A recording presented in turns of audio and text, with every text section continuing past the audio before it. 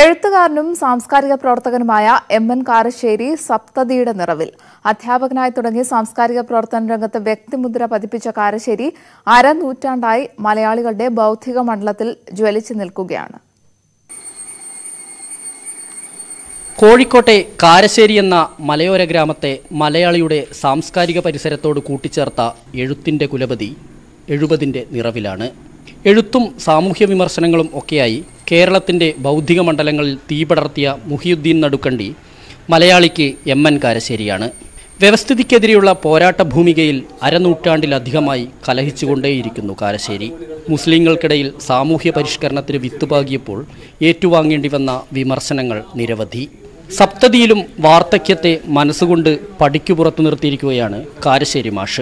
അധ്യാപനമാണെങ്കിലും എഴുത്താണെങ്കിലും പിന്നെ സാംസ്കാരിക പ്രവർത്തനമാണെങ്കിലൊക്കെ ഞാൻ ശരി എന്ന് എനിക്ക് ബോധ്യമുള്ള കാര്യങ്ങൾ ഞാൻ ചെയ്തതും പറഞ്ഞൊക്കെ.